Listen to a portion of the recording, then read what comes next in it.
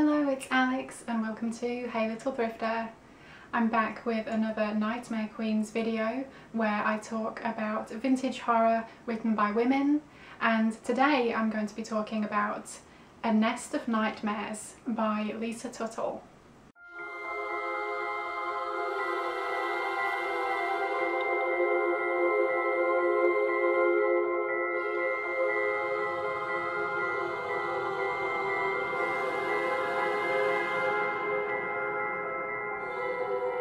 Nest of Nightmares is a collection of 13 short stories by Lisa Tuttle and it was originally published in 1986.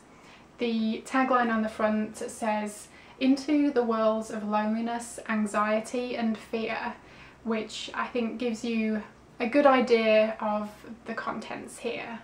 This is a really excellent collection.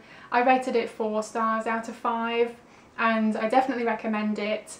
There's a great mixture of tone and content in these stories.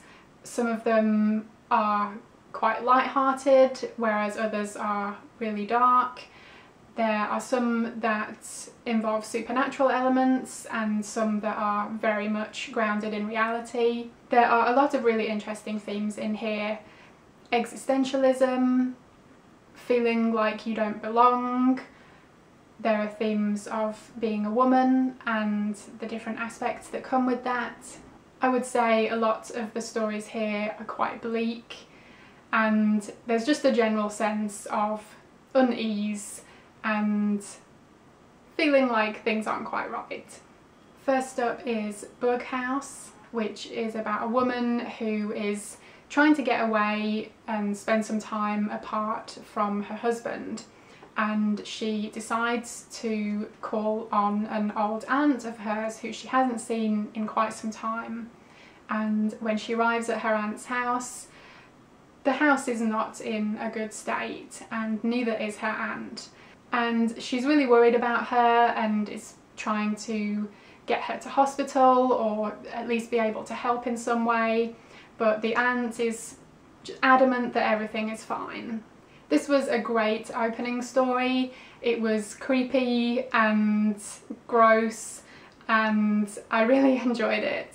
Next up is Doll Burger, which is a quick and fun story about a little girl and her dolls. Community Property is a story about a couple going through a divorce and they are having to make a decision about what to do with the dog that they both love but neither wants to see the other one take the dog with them. Flying to Byzantium is about a science fiction author who is invited to be a guest at a convention. She has spent years trying to escape her hometown and escape the person that she was and become someone new and with writing this novel that she has out she feels she's at the place she wants to be. And now that she's back, she begins to regress from the life that she has struggled to create for herself. I accidentally missed one. It is called Treading the Maze and it's about a couple who are visiting Glastonbury and they find a maze near where they're staying and it's quite a strange and sad story and it has a touch of folk horror to it. Next up is The Horse Lord. This is about a family who move into an old family home and it turns out that an ancestor was killed there by his horses that he kept and there is some kind of ancient curse on the land.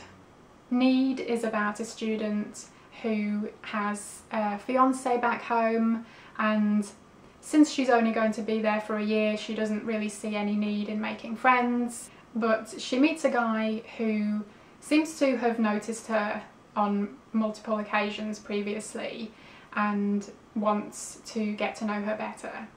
The Memory of Wood is about a couple who buy an old chest at an estate sale and it has this terrible smell to it and one of their young children starts to become quite curious about the chest.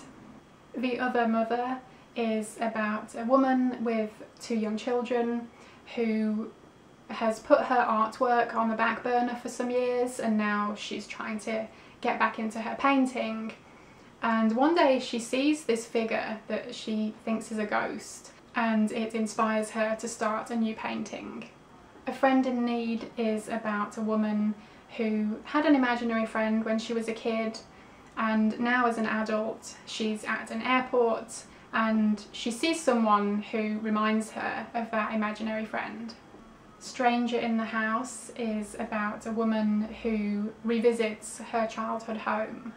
Sun City is about a woman who works a night shift at a hotel. She is going through a divorce and she starts to have these nightmares and these visions of a presence. And she's also remembering a really disturbing incident that happened to her some years ago. And finally, The Nest is about two sisters who buy a house together and they find something strange in the attic. And as time goes on, the visions they had for this great time living together don't work out and their relationship starts to break down. So as you can tell there are a lot of female focused stories, there are a lot about relationships and motherhood and families and there are themes of loneliness and hopelessness, there are themes of belonging and of wish fulfillment. And it was a really great collection as with most short story collections, there were some I liked better than others, but they were all at least good, and some were fantastic. My favourites were Bug House, Community Property, Flying to Byzantium, The Other Mother, Sun City, and The Nest.